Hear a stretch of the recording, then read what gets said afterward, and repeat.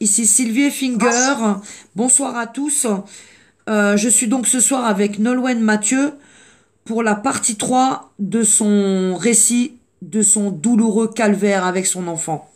Bonsoir à toi Nolwenn. Bonsoir Sylvie. Comment vas-tu Nolwenn? Ça va, merci et toi? Ça va, ça va. Alors, euh, ben, nous allons donc écouter euh, le récit de ton parcours et de ce placement abusif euh, avec ton petit garçon Yanis. À toi la parole, Nolwenn. Donc ce soir, eh bien, on va parler un, petit peu bah, des déplacements et de tout ce qui va autour de la vie de Yanis quand il n'est pas avec toi. Je te laisse parler, Nolwenn. Vas-y. Yanis est parti cet été au Cap d'Agde, voilà, dans un centre euh, de loisirs. Voilà, 14 jours. Je n'ai eu aucune nouvelle de, Yanis, mais euh, la famille d'accueil, elle, elle a eu le droit d'écrire une lettre à Yanis. Yanis m'a posé la question euh, pourquoi maman tu m'as pas envoyé de courrier? Voilà. Donc moi j'avais pas l'adresse déjà. Je savais juste le nom voilà. Aucune adresse. Donc j'ai répondu à Yanis et eh ben que voilà que, que je, je savais pas. Et voilà c'est pour ça que je lui ai pas envoyé de lettres donc Mhm. pendant 14 jours déjà il était sur Esperdal Oui. donc c'était un camp avec de l'eau et tout ça, donc avec le resperdal, euh, Ouais. bah voilà, avec le soleil euh, Ouais. et tout ça, donc euh, ça, ça fait, ça, voilà, il a dû être malade, hein, voilà, on va dire ça comme ça. hein, Mais que, Nolwenn. il est- voilà, il est. Nolwenn, excuse-moi de t'interrompre, mais dis-moi, t'es même pas sûr qu'il est parti au Cap d'Agde en fait, puisque tu n'as pas d'adresse et tu ne sais pas. Bah, j'ai aucune preuve, hein, voilà, j'ai aucune preuve. Et puis Yanis, comme je dis toujours, il a toujours des pertes de mémoire avec ce resperdal. Mhm. Donc euh, voilà, c'est le trou noir hein, quand Ouais, même. hein. Donc ouais. euh, voilà, donc j'ai aucun, aucun contact avec Yanis pendant 14 jours. Est-ce que c'est la première fois que, depuis qu'ils t'ont enlevé ton enfant, euh, tu peux nous parler un peu des divers déplacements d'Yanis? Bah, Yanis, avec le foyer, il était parti à Lyon. Là, c'est pareil. Voilà. Donc, euh, aucune preuve. Voilà. Donc, euh, Combien Yanis de temps a été hospitalisé. Il est tombé euh, d'un lit superposé euh, sur sa tête. Il a Mm. passé une nuit à l'hôpital. Mhm. Donc, voilà, j'ai été prévenue le lendemain par une éducatrice. Voilà. Oui. C'est voilà. Ensuite, il est parti en camp vélo. Donc, voilà, là, c'est pareil. Hein, on peut pas, Pas d'adresse. vérifier. Ils t'ont dit où? En camp neige, euh, euh, euh, en camp vélo, c'était dans Lyon. Voilà. Ok. Voilà, pas plus d'informations, moi. Ouais, Voilà. ouais, ouais. Et ensuite, euh, à la neige, bah voilà, euh, voilà Pareil. plus d'informations et il va savoir si c'est vrai, et voilà, tout ça. Exactement. Voilà. Donc on peut quand même remarquer que chaque fois qu'il déplace l'enfant, eh bien, bah, c'est comme pour Leroy, hein. On ne sait pas où est-ce que vont les enfants. On n'a pas d'adresse, on n'a pas de brochure, on n'a pas la liste des activités, on n'a pas un nom d'encadrant du centre. On ne sait absolument rien sur les déplacements de nos enfants. Je te laisse continuer, Oui, Nolwenn. Donc euh, bah là voilà donc il a fait tout euh, tout tous ces, ces camps là voilà Euh, il était parti en camp poney également voilà mais j'ai pas de photos hein j'ai rien du tout non Oui. plus donc aucune preuve Bien donc sûr. ça s'accumule Ouais. voilà et puis sans mon accord hein, parce que moi j'ai dit à la juge des enfants ça fait beaucoup qui part pendant 14 jours hein, parce que Oui. Yanis déjà il est jamais parti autant autant en plus c'était tout seul hein, c'était Oui. sans les des éducateurs qui connaissaient en fait ils Voilà. connaissaient personne Voilà, donc, euh, voilà. voilà hein. On les Donc, balance tout euh, seuls. On les balance tout seuls, sans le foyer, sans les camarades. Et, euh, et ça, ça c'est incroyable quand même. Ils prennent, ils prennent beaucoup de risques à balancer nos enfants à droite et à gauche. Et ça, vraiment, ça devrait interpeller le peuple. Vous vous rendez compte un peu des mises en danger multiples de nos enfants à chaque déplacement. Ils peuvent tomber sans arrêt sur des barjots et beaucoup de prédateurs sexuels. Je te laisse continuer, Voilà. Nolwenn. Donc, euh, du coup, bah, ça, c'est la juge. Hein, voilà, moi, j'en ai fait part euh, quand on était le 16 juin en 2022 au tribunal. Que voilà, moi, j'étais d'accord pour une semaine, mais pas, pas autant de temps. Mais elle a dit, mais Yanis, elle est tout à fait capable hein, de partir. Euh, J'ai dit, bah, c'est pas qu'il est pas capable, mais euh, c'est la première fois. Il est pas quand même, il a 10 ans. Ouais. Il va avoir 10 ans. Ouais, moi, il est j'estime petit. euh, Il est partir petit. aussi loin en plus. Oui, voilà, c'est un je suis petit pas garçon. en étant une maman, quoi. C'est tout à fait logique, en C'est fait, clair, c'est clair. À ta place, c'est pareil pour moi. Je ne suis pas rassurée chaque fois que mon enfant est déplacé. Continue Nolwenn, ma sœur. Et, Et du coup, bah, j'ai pas été écoutée comme d'habitude. Donc Yanis, bah, voilà, il est parti euh, deux fois. Bah, également, il, est parti chez des familles d'accueil euh, relais aussi. Voilà. Donc, Ils t'ont dit où hein. Ils t'ont dit où ils t'ont dit bah, Dans les familles d'accueil relais, voilà, qui, parce qu'ils sont tout en vacances, donc du coup, bah, ils doivent chercher, hein, donc ils déposent. Ça fait beaucoup de déplacements quand même. Hein. Ça fait énormément de déplacements pour un petit enfant. C'est vraiment pas ni sécure ni stable pour la construction de l'enfant. Vous remarquerez quand même euh, que c'est pas, ça leur pose aucun problème de les balloter, de les balancer à droite et à gauche comme des vulgaires colis postales. Je suis vraiment euh, choquée. Et chaque fois que j'entends un témoignage, je suis de plus en plus choquée de ce que se permettent ces gens de la protection de l'enfance. Continue Nolwenn.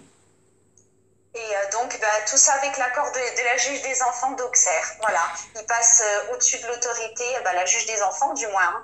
elle passe au-dessus de l'autorité euh, parentale. Voilà, et l'ASE Pour les camps, pour les médicaments. Oui, elle délègue, elle délègue à l'ASE en fait. Elle délègue, elle délègue l'autorité parentale à l'ASE. Et si tu n'es pas d'accord, eh bien, il passe dessus. Voilà. C'est ce qui se passe. Voilà. voilà. On n'a pas notre mot à dire. Absolument pas. il nous force. Il nous oblige carrément. voilà. C'est du chantage. Bien sûr que c'est du chantage. Et, euh, et on a de quoi être inquiet, hein, surtout quand on voit nos enfants qui se dégradent et qui deviennent fous. Hein. Euh, dis-moi, pendant tous ces déplacements de ton enfant, t'avais des rendez-vous, des entretiens, il y avait un suivi? Bah, J'avais des rendez-vous, euh, voilà, euh, quand Yannis était euh, au foyer, oui, là-bas directement, à la vie au grand air. Ensuite, au conseil départemental. Oui, avec qui Dans des bureaux. Et avec qui Tu peux nous expliquer un peu hein. les conditions des rendez-vous au conseil Tu peux nous raconter un peu? Bah, bah, tout le temps ils disent il faut que je travaille avec eux, il faut les écouter, euh, voilà, il faut pas dire des choses euh, à Yanis. Euh, après Yanis, euh, il n'a pas confiance aux adultes, c'est de ma faute. bah voilà, tout le temps des, du rabâchement. Et quand je suis en réunion, ils me font répéter deux trois fois les mêmes choses. Donc c'est c'est grave en fait ce qu'ils font. Bien sûr, ça s'appelle du lavage de cerveau, du conditionnement sectaire. Voilà, donc euh, moi je répète, hein, je garde mon calme et tout. Hein, voilà. Et après, il me coupe la parole aussi quand je suis en réunion. Ouais, ouais. Voilà. Donc tu peux pas t'exprimer en fait. Ouais, tu peux pas t'exprimer du tout. Voilà, et moi je viens avec plein de documents, bah, j'écris tout ce que j'ai à leur dire, voilà, je fais le, topo en fait, hein. et du coup, ah, mais vous venez avec beaucoup de documents, madame, hein. bah mm. oui, c'est pour mon enfant, donc mm, euh, mm. voilà, je, prépare euh, ce que je dois vous dire, voilà, sur les sujets de mon enfant. Surtout, c'est très important de prendre des notes justement pour quand tu as des échanges avec eux pendant les entretiens, toi aussi tu as le droit de leur poser des questions et leur demander des explications sur telle ou telle chose, sur un suivi, sur un déplacement, sur l'école. Enfin, ça t'appartient, t'es quand même la maman de Yanis. Bah oui, j'ai l'autorité parentale, donc c'est ce que je leur dis, j'ai l'autorité parentale. Ils disent, ah bah oui, hein, à chaque fois vous dites, euh, j'ai l'autorité parentale, bah oui, c'est mon, mon enfant, hein, même s'il est placé, euh, ça reste euh, mon enfant et moi j'ai le droit de décider ce qui est bon ou pas pour exactement, mon enfant. Exactement, exactement. Et ça, ils aiment pas parce qu'ils disent, vu qu'il est placé, il est à eux. Donc elle est pas mal celle-là aussi. Oui. Hein. et d'ailleurs, et d'ailleurs, ils te l'ont déjà dit, ils te l'ont déjà dit d'ailleurs. Oui, oui, bah oui, c'est pas la première fois euh, qu'ils qui me disent cela. Donc, euh, Ils t'ont dit Yanis, il est à nous. Ils t'ont dit Yanis, il est à nous Voilà, voilà. Yanis, Incroyable. Nous, voilà euh, ce qu'elle a dit Madame Morcelli. Incroyable. Voilà, tu peux nous dire qui est cette personne Morcelli, il n'est pas à vous, c'est mon fils en fait, c'est mon enfant. Tu peux nous dire qui est cette personne? Bah, C'est l'éducatrice référente de Yanis. Ah, très bien. Ah, bien l'éducatrice, super. Bah ah oui, donc. Euh, donc c'est son enfant. Euh, voilà, lavage de cerveau à Yanis également. Donc ouais, euh, voilà, Yanis, il, il, parle des sujets quand il a été dans son bureau qu'il ne parle pas habituellement. Ok. Donc voilà, c'est pas normal. Non, c'est pas normal. Ça montre bien qu'on lui, bourre le, on lui bourre la tête. Et c'est exactement la même chose qui se passe avec mon petit garçon Leroy. Et que j'ai remarqué. Il subit un conditionnement, un lavage de cerveau. Et euh, il y a quelques années en arrière à Bordeaux, quand je l'ai revu au bout d'onze mois, eh bien pendant la visite qui a duré sept minutes, il répétait en boucle je travaille, je vais à l'école, je travaille, je fais, je vais à l'école, je travaille, je vais à l'école. Oui. Tu comprends?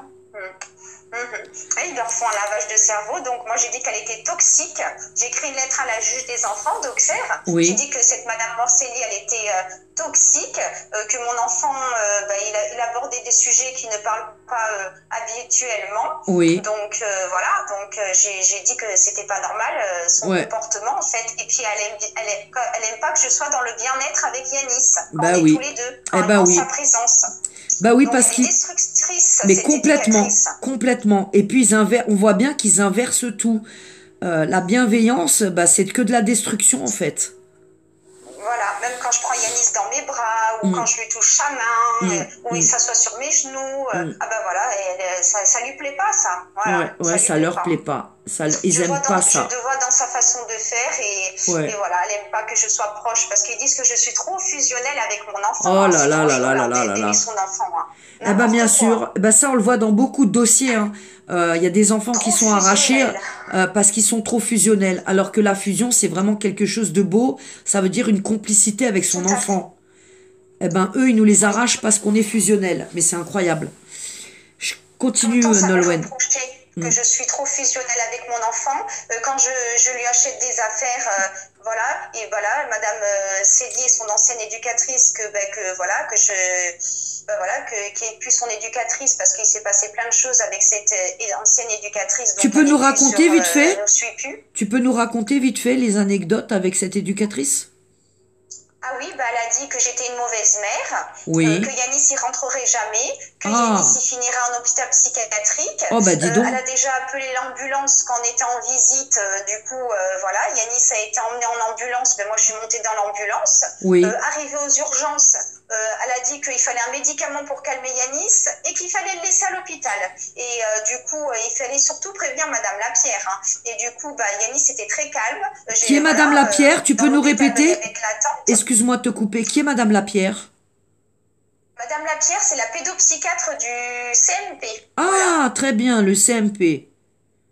Le Ok. CMP de Sens, il y a monsieur euh, Emmanuel Sautreau, Valerio, Ok. voilà, monsieur Habib, voilà, ils sont plusieurs Ah bah, en fait. Valerio, bah, c'est le médecin qui a refusé de me rencontrer, qui a vu Leroy qu'une seule fois et qui voulait le mettre en Mhm. ITEP et le médiquer, bien entendu. Donc, le même sort que Yanis. Vous comprenez Et un moi peu? aussi, Madame Mouton aussi, elle a dit, elle a signé le document et elle a appelé l'ITEP, euh, voilà, pour que Yannis soit en ITEP également. Ah, bah, Voilà, très donc bien. ça se rejoint. Bah oui, ça se rejoint. On voit que les parcours sont similaires. C'est toujours la même méthode. Je te laisse continuer, Nolwenn. Donc euh, ce jour-là, ben voilà, euh, on avait de l'attente dans les urgences, donc on est parti, elle est venue, j'ai dit bah Yanis il faut qu'il mange hein, quand même parce que ça va être midi, donc euh, je vais pas laisser mon enfant euh, Oui. sans manger. Donc l'éducatrice Madame Célie est descendue avec nous, on est parti euh, chercher un sandwich, on a mangé et tout ça. Oui. Après on est remonté Oui. et Yanis était très très calme, hein, même moi je tenais sa petite mère et tout ça. Oui. Voilà, il avait très peur d'être hospitalisé, hein, donc. Bah oui, parce et, que- et grâce à, ben, que j'ai parlé beaucoup avec le médecin, il est sorti libre, Yanis, parce que j'aurais pas été là ce jour-là, Yanis aurait été enfermé.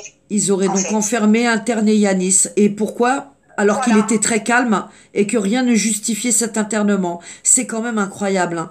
On enferme un enfant en psychiatrie, un enfant qui n'est pas agité et qui n'a pas de troubles.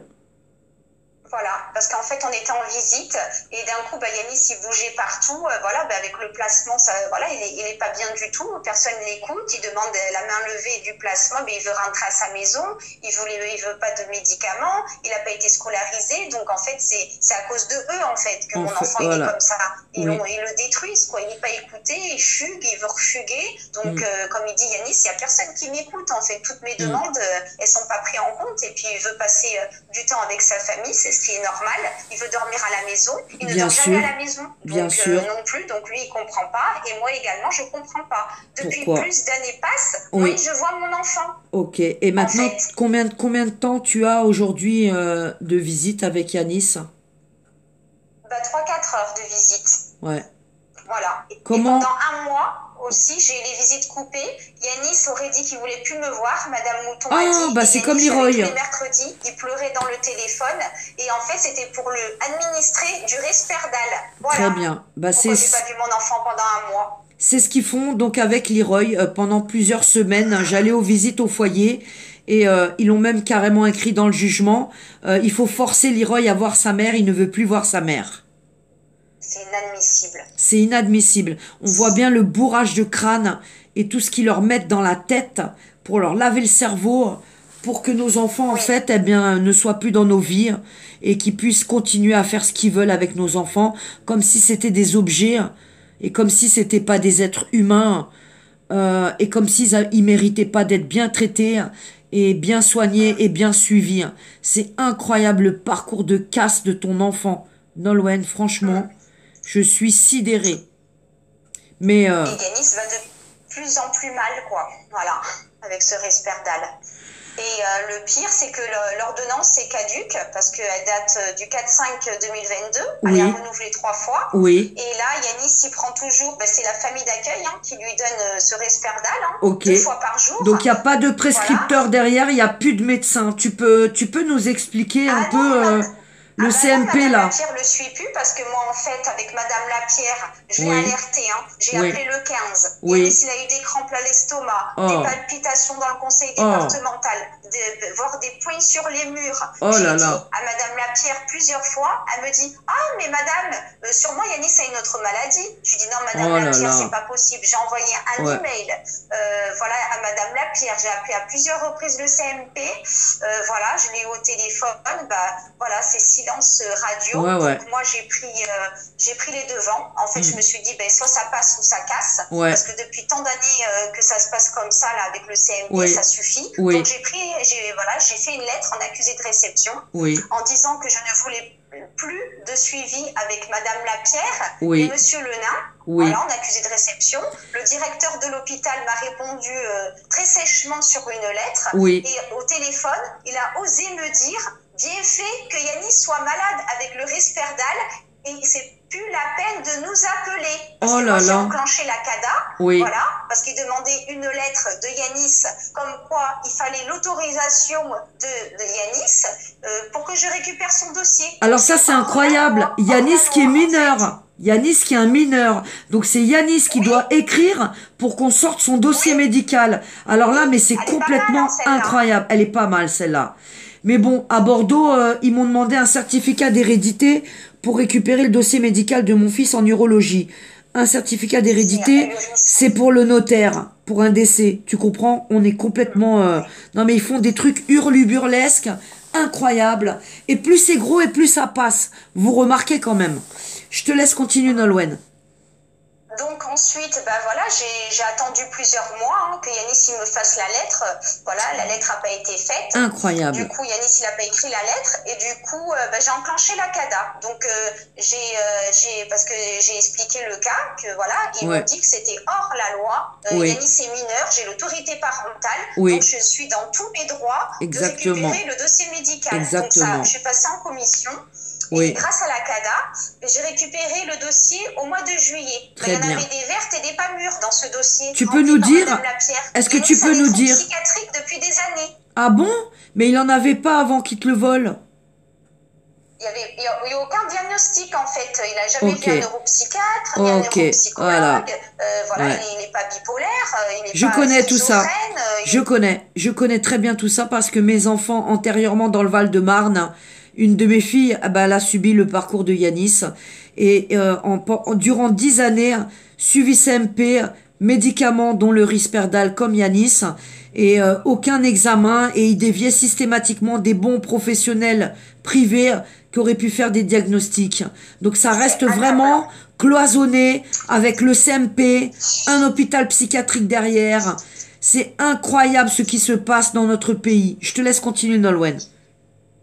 Donc du coup, bah, j'étais ahurie hein, euh, Ah bah, en tu le dossier euh, de Yanis. Hein, euh, Ouais, voilà, hein, ouais, je, ouais. je- j'en- je suis tombée de haut en fait. Ouais. Donc euh, du coup, euh, voilà, bah, voilà, j'en ai pris, j'en ai pris compte. Bah, je l'ai, j'ai, j'ai tout re- regardé et tout ça. Et ensuite, euh, du coup, bah voilà, hein, du coup, il n'y a plus de suivi au CMP. Oui. Mais du coup, Yanis, il prend toujours, toujours ce médicament. Et le pire, c'est qu'il n'est pas suivi avec un pédopsychiatre. Et il y a pas de suivi derrière. Yanis, Ouais. il devait partir à Paris et Oui. Madame Corgeron et Madame Morcelli ont refusé le rendez-vous. Qui sont ces deux, qui sont ces deux personnes? Qui sont ces deux personnes qui t'ont refusé le rendez-vous à Bah, Paris? Madame Morcelli, c'est l'éducatrice référente de Yanis. Très bien. Et Madame Corgeron, c'est la cadre enfance du conseil départemental Ah bah, très bien. de Sens. Ah bah on voit, on voit la bienveillance de ces personnels euh, en en en n'emmenant pas l'enfant chez un médecin. Alors tu peux quand même préciser que c'est un médecin de ton choix parce que donc tu as écarté le CMP, tu veux plus qu'il soit suivi Oui. là-bas, étant donné Oui, que donc ils ont fabriqué un faux dossier et des faux diagnostics de troubles pour prendre Yanis dans le circuit psychiatrique et le médiquer. Et il y a absolument, euh, Yanis avait aucun trouble avant ce placement. Euh, Dis-moi, avant son placement, il avait déjà vu des médecins et des pédopsychiatres CMP Yanis, euh, oui, Yanis, en fait, euh, ben, vu qu'il il allait pas bien, euh, Oui. que les éducateurs lui montaient la tête de Ah. me taper, de m'insulter, euh, que ça n'allait pas du tout, en fait. Euh, Voilà, ils m'ont fait un lavage de cerveau. Oui. Yanis a été admis à l'hôpital, le centre hospitalier de Sens. Oui. Et euh, il y avait Madame Lapierre. Ah, elle était déjà là Il a été médiqué. Ok. médiqué. Il est tombé la tête dans son assiette. Oh, et le quand j'appelais pauvre. l'après-midi, eh ben, il dormait. Et j'ai eu pas le droit de le voir pendant quelques jours. Oh là là. Donc ce médecin, arrivé deux fois. ce médecin qui a suivi Yanis et qui le suivait encore il y a pas très longtemps, elle l'a rencontré Oui. avant qu'il soit placé. Oui, c'est ça. C'est incroyable, Voilà, hein. Tout à fait. Ouais. Parce que Madame Lapierre, elle travaille partout, en fait, dans les centres hospitaliers, à Ok. l'hôpital psychiatrique, dans les CMP. Elle Ok. a même un, un bureau, euh, euh, ben, voilà, euh, J'ai carrément- euh, d'Auxerre. Ouais, j'ai carrément envie de dire qu'ils rabattent des enfants vers le circuit psychiatrique. C'est ça. C'est ça. C'est ce qui se passe, en fait. Et c'est ce qu'on remarque depuis des années dans les autres départements, en fait. Il n'y a pas qu'à Oui. Sens. C'est tout le pays, en fait, qui pratique ça. Des internements, des suivis CMP, des traitements sur des enfants. Ils n'ont pas besoin de tous ces traitements. Et je rappelle que ce médicament est un médicament qui fait beaucoup de dégâts. Et il y a beaucoup d'effets secondaires. Moi, j'ai un professeur de l'hôpital Robert Debré en 2010 qui, devant l'ASE, au cours d'un entretien, m'a dit ne faut surtout pas donner toutes ces merdes, c'était ces termes, à vos enfants parce que ça va leur abîmer le cerveau. Eh bien, aujourd'hui, en 2022, il continue avec ce médicament dans les CMP. Il m'avait d'ailleurs déconseillé d'aller voir des CMP pour faire suivre mes enfants. Eh bien, qu'est-ce qu'a fait l'aide sociale à l'enfance? Ils les ont envoyés au CMP. Je te laisse continuer, Nolwenn. Donc, euh, du coup, ben voilà, Yanis, il a été euh, hospitalisé deux fois, voilà. Il a été suivi avec une psychologue, et cette psychologue euh, ben, a dit mot pour mot, hein, euh, voilà, Ouais. que, euh, que Yanis, il fallait pas euh, qu'il qu'il rentre, voilà. Oui. Après, il y a l'assistante sociale de cet hôpital-là, elle a demandé, m'a demandé euh, de placer Yanis, de laisser Yanis. Donc euh, moi je lui dis j'ai refusé catégoriquement, j'ai dit non en fait. Donc j'ai réussi à sortir Yanis euh, de l'hôpital, voilà.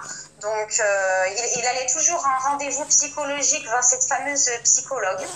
Voilà. Alors, remarque, remarque que pour un seul enfant, hein, est-ce que vous avez vu le nombre d'intervenants et de praticiens et de tout ce qu'on veut autour du petit garçon? C'est incroyable, tout ce monde autour de ton enfant. Oui, ah oui. Donc Yanis a continué. Et puis cette psychologue, elle faisait des rapports euh, également à la juge des enfants. Ah. Elle travaillait avec le conseil départemental. Ah, bah bien. Et la juge des enfants. Elle faisait des écrits sur nous. Ok, des, ra- des faux rapports de toute façon. On le sait. hein. Oui, oui, tout à fait. Voilà, comme la psychologue euh, qui suivait Yanis, là également au CMP, elle a dit il ne faut pas que Yanis se rentre. Et cette psychologue, elle est partie du CMP, voilà. Elle m'avait prévenu, ben, je ne travaillerai plus là, en appel téléphonique, euh, voilà. Euh, Oui. il y aura d'autres psychologues qui prendront en charge Yanis. Et euh, où est-ce qu'on peut la retrouver aujourd'hui, cette psychologue? Je ne sais pas du tout, ben, l'ancienne qui suivait Yanis, parce qu'il y en a une autre après qui l'a vue, et puis euh, il y en a une autre qui travaille la vie au grand air, au foyer de Ah, Sens, donc maintenant elle est dans le foyer. Donc du CMP, elle est passée au foyer. Ah bah c'est pas mal Voilà. ça. Ah oui, hein, elle est pas mal celle-là. Hein. Ouais. Euh, Donc, remarque pertinente, j'ai affaire à cette psychologue aujourd'hui. Donc Ah oui. euh, il n'y a pas de hasard en fait, le hasard n'existe pas. Là, on voit bien à chaque fois les, conco- les concordances, le lien qui peut être fait autour de nos enfants. C'est incroyable tout ce que Oui. tu nous révèles ce soir, Nolwenn. Je te laisse continuer, ma sœur. Donc, euh, du coup, bah voilà, Yanis, il a été suivi euh, au CMP, voilà. il voyait Madame Lapierre, Monsieur Le Nain, euh, voilà, la, la psychologue. Donc après, voilà, il était plus suivi euh, en, avec une psychologue. Là, dernièrement, il avait été suivi quand il était dans le 77 avec une psychologue que j'avais choisie, Madame Muse. Oui. Mais euh, du coup, au début, elle était de, du côté de, de, moi et de Yanis. Oui. Mais il se trouve que cette psychologue venait en réunion euh, avec le conseil départemental. Okay. Donc moi, ben, je l'ai appelée plusieurs fois. Une semaine avant l'audience, quand même, elle m'a répondu. Ok. Voilà. Ok. T'as jamais pu vraiment Voilà. échanger avec elle en fait. Bah non, voilà, voilà. Ouais. Eh Et ben, après, moi, je l'ai appelé au mois d'août pour lui dire que Yanis, il viendrait plus parce que du coup, il revenait dans le 89. Et puis, Oui. elle m'a dit, bah, vous lui dites, j'ai même pas eu le temps de lui dire au revoir et Ah. tout ça. Donc, euh, vous lui direz au revoir de ma part hein, et tout ça. ouais, ouais. Voilà. Voilà. Et à ce jour, Yanis, alors du coup, c'est, très bizarre hein, parce que du jour au lendemain, Yanis, il a plus besoin de pédopsychiatre, hein, comme il voyait Ouais. Madame Lapierre. Ouais, ouais, voilà. Il y a on plus voit besoin bien. parce que voilà, j'ai arrêté le CMP. Euh, il y a plus besoin de psychomotricien Ouais. Voilà, Ouais. parce que j'ai pris contact, elle a envoyé les documents euh, de la psychomotricienne Oui. privée, parce que moi Ouais. je veux du privé et du libéral. Oui. Donc euh, ça aussi, hein, c'est en suspens. Donc Oui. euh, c'est très bizarre. Donc, Oui, c'est très bizarre hein, pour un enfant qui est fou, pour un enfant qui est fou avec beaucoup de troubles qui lui ont fabriqué. Aujourd'hui, il n'y a plus besoin de Mhm. suivi. Ah bah oui, voilà. C'est incroyable. bizarre, hein. Mais par contre, il y a toujours besoin du médicament. C'est pour baïonner Yanis, parce que Yanis, il a subi beaucoup de choses. Et Mm. encore, il y a des choses que je ne sais pas, et Yanis a oublié. Mais Mm. un jour, je saurai la vérité, et je creuse, et je vais le trouver. Hein. Et tu je vas vais, Je vais trouver. savoir toutes les choses qu'ils ont fait à mon fils. Oui, hein. tu vas trouver. Mais probablement ben, des choses qui font à beaucoup d'enfants dans notre pays. hein. C'est pour ça qu'aujourd'hui, euh, eh ben, on n'a plus le temps de travailler avec toutes ces personnes parce qu'ils aiment à nous répéter en boucle qu'il faut qu'on travaille ensemble. Oui, il faut mais, qu'on euh, travaille non, on parce peut pas que, travailler voilà, avec parce eux. qu'ils veulent me suspendre les visites, autrement, si on travaille pas chantage, ensemble. le chantage, la phrase, la phrase type. Oui, le chantage. Si vous travaillez pas avec nous voilà. à détruire votre enfant, eh bien vous ne le verrez plus vos 60 minutes. C'est vraiment Voilà. de la torture ce qu'ils font aujourd'hui aux familles. Je te laisse me par vous continuer. vous souvenez, hein, la dernière fois, pour me, parce que voilà, pendant un mois, j'ai pas eu Yannick, je Mm, l'avais qu'au mm, téléphone. mm. Ben voilà, il faudrait pas que ça se passe comme ça, en gros. Hein, donc, Le euh, il faut que je chantage. travaille avec eux, mais moi, c'est hors de question, c'est la destruction de mon fils, en fait. Je Exactement. travailler avec eux Tu peux pas travailler avec eux. Et moi, c'est pareil. Un Exactement. contre Yanis. Exactement. Pour le Ils détruire. Le Ouais, ils le mon fils, je le reconnais plus, de jour en jour. Donc, euh, moi, je travaillerai jamais avec eux. Comme pour l'MDPH, euh, je donnerai jamais la carte d'identité, je donnerai jamais euh, le livret de famille ni la carte d'identité d'Yanis. Tu as Aucun raison. document. Tu as Voilà. raison, tu as raison. C'est ton enfant à un moment, c'est à toi, ça, ça t'appartient à toi de décider, quoi. Surtout si tu vois que c'est tout ce qu'ils font autour de ton enfant, c'est que de le mettre en danger et de l'abîmer. hein. C'est vraiment. Oui, et le dossier MDPH aussi. Ben, en fait, j'ai écrit une lettre en accusé de réception à Madame Corgeron, comme quoi ben, je voulais les détails des ordonnances qui avaient été marquées dans le dossier MDPH. Aucune réponse. Je suis passée le 16 Ouais. juin Mm. et le dossier MDPH il a été fait le 23 juin par Madame Mouton, Madame Blanche Guerrier et Lapierre, Madame Ok, Lapierre. on Donc, retrouve du toujours coup, les là, mêmes. Ils me disent Ouais. de refaire un dossier MDPH Mm. euh, et de donner une photocopie. Ouais. Non mais on va où en fait? Et malheureusement pour moi, eh bien, j'ai les mêmes intervenants, sauf que moi, c'était le docteur Gulia Valerio et pas le Ah docteur oui, Lapierre, oui, mais c'est sa Elle collègue. travaille au CMP. Voilà. Oui, tout à fait. Donc Voilà. je remarque quand même un truc, c'est que moi j'ai un parcours de, un autre parcours que bah toi et d'autres parents euh, ici dans le coin, et Oui. que ils font très attention à ne pas me faire passer par toutes ces personnes, sauf quelques-unes que tu as citées qui sont aussi sur le placement de mon enfant, et ils utilisent bien entendu le même schéma et les mêmes méthodes, et ça c'est révélateur en fait, que bah c'est tout le territoire en fait.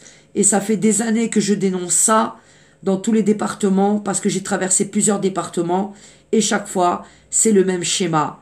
Donc oui, euh, les gens qui nous écoutent et qui vont, j'espère, relayer cette vidéo parce que maintenant on n'a plus le temps de censurer et de taire tous ces, tous, toutes ces destructions d'enfants. On parle de nos familles et ils détruisent la famille et les enfants. Donc euh, comprenez que maintenant, bah, il faut arrêter d'avoir peur. C'est nos enfants et nous devons nous lever face à ces pratiques immondes et surtout défendre nos enfants. Ça veut dire parler, dénoncer la vérité. Il faut dire la vérité, il ne faut pas avoir peur. Quelles sont les conséquences? Vous vous imaginez les conséquences pour vos enfants de toute cette destruction? Eh bien, nous, on les connaît, les conséquences. Pour des parents qui ont eu leurs enfants euh, bousillés dans des placements abusifs qui ont duré de longues années. Beaucoup aujourd'hui sont dans les services psychiatriques, dans la rue ou dans les prisons. Voilà la protection de l'enfance aujourd'hui. Donc il y a vraiment, excusez-moi du terme, un nettoyage, un ménage à faire et des réformes à faire en France. Il est temps que ce peuple se réveille et sorte de son hypnose collective et reprenne ses droits et sa place. C'est-à-dire, vous êtes des parents, c'est vous qui décidez, c'est vous qui êtes souverain, c'est pas eux. On va terminer là-dessus, Nolwenn. Euh, de toute façon, on refera des interviews hein, puisqu'on travaille ensemble. Et, euh, et quand même là, on a quand même réussi donc euh, à mettre une association autour de Nolwenn qui va pouvoir travailler avec Nolwenn pour qu'on on fasse un sevrage sur Yanis et qu'ils arrêtent ce traitement de merde. Oui, Donc le combat continue. Il va hein. faire un sevrage parce que Yanis, euh, depuis le mois de mai, prend ce médicament et voilà, c'est trop dangereux d'arrêter du jour au lendemain. Brutalement, exactement, exactement. Trop brutalement, il risque d'avoir bah, des problèmes euh, terribles de santé et en plus, il n'y a pas de médecin derrière, il n'y a plus de pédopsychiatre, donc ils mettent vraiment euh, le petit Yanis en danger. Alors j'espère que ces gens-là, ils viennent sur mes chaînes et qu'ils écoutent attentivement tout ce qu'on a dit. Hein, parce que euh, on va pas se taire, c'est pas possible qu'on accepte et qu'on travaille avec toutes ces personnes pour détruire nos enfants. J'espère que le message est clair pour tous. Nolwenn, euh, on se reparle très bientôt et le combat continue. Courage, courage, courage à toi et force à toi et beaucoup de courage pour Yanis. À très bientôt, Nolwenn. Merci beaucoup, Sylvie. À bientôt. Au revoir et relayez la vidéo. Au revoir.